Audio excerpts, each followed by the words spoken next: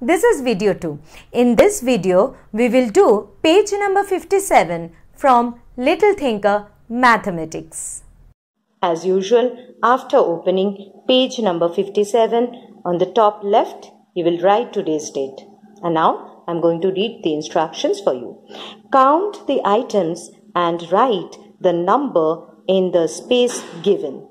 Tick the set that shows the smaller number in each pair. One has been done for you. First, what we will do?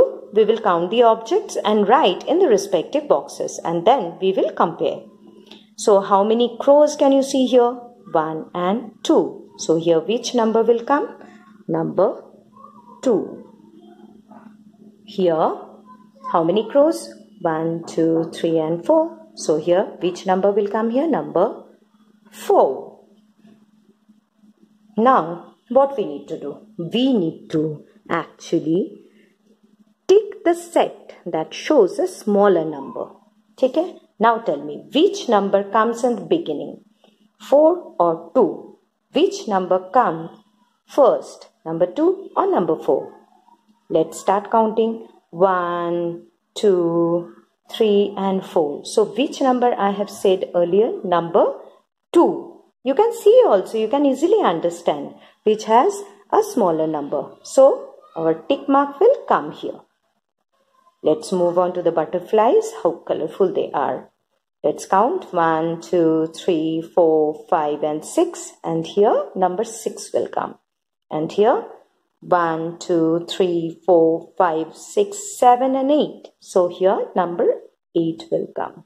So now between 6 and 8, what as I have told you earlier, we have to count the number till both the numbers are covered. So we have to start counting 1, 2, 3, 4, 5, 6, 7 and 8. Now we have covered both the numbers, number 6 as well as number 8. And if you look at the pictures also, you can see and understand that where the smaller number of butterflies are there. Which set? This or this? Which number comes ahead before number 8? Hmm? Number 6 is smaller because 6 comes first, then 7 and then 8, right? So we have to put a tick mark here.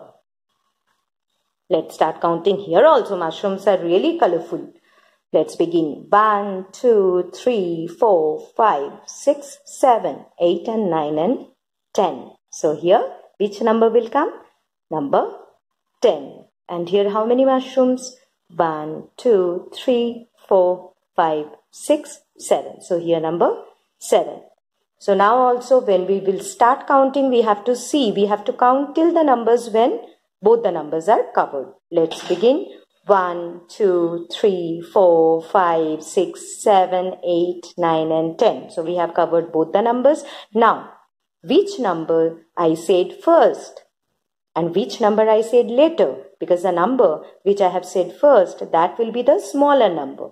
And the other number is more than that greater than that. So here even if you look at the pictures you can easily understand where smaller number of mushrooms are there. Tell me between these two sets and see the numbers also. So first I said 7 then 8 then 9 and then 10 so 7 is a smaller number. So what do I need to do? I need to put a tick mark here, right? This is the end of video 2.